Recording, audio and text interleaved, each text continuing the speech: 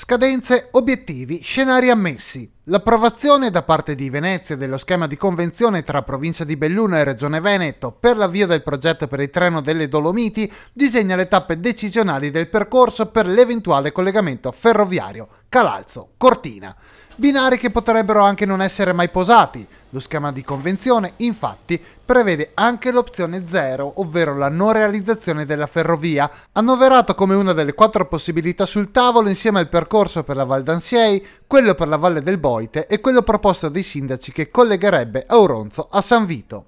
Come e quando si deciderà? La strada è tracciata al netto di proroghe non prevedibili in questo momento.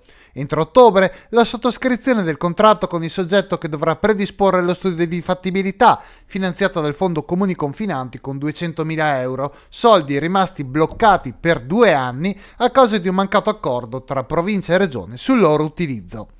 Poi ci saranno tre obiettivi da centrare. Entro giugno 2020 andrà approntata l'analisi trasportistica con la definizione degli scenari legati alla mobilità nel bellunese. Entro gennaio 2021 la predisposizione di un modello di esercizio del servizio ferroviario affiancata da un confronto con altre modalità di trasporto pubblico e privato.